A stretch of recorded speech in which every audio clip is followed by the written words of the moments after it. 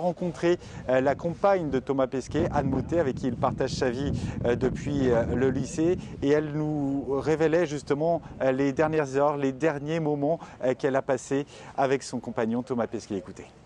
On a, eu, des moments vraiment super avec, avec, les familles, en fait, avec les membres de l'équipage et puis leurs familles. Euh, on a passé beaucoup de temps dans une, petite maison sur le centre, euh, la, seule petite maison du, centre KSI euh, qui s'appelle la Beach House, qui est en fait une grande salle de réunion mais à la plage. donc on, s'est baigné, on a pu faire du sport ensemble. On a, beaucoup parlé aussi des choses à régler avant le départ. on avait des papiers à signer, des choses comme ça. Donc ça, il, faut, il faut faire sa checklist un petit peu. Et puis, mais on a, eu beaucoup, beaucoup d'heures dans, dans la journée ensemble, donc on a eu beaucoup de chance pour ça. Merci beaucoup Benoît Perrochet de nous avoir fait vivre cet événement. Merci à vous.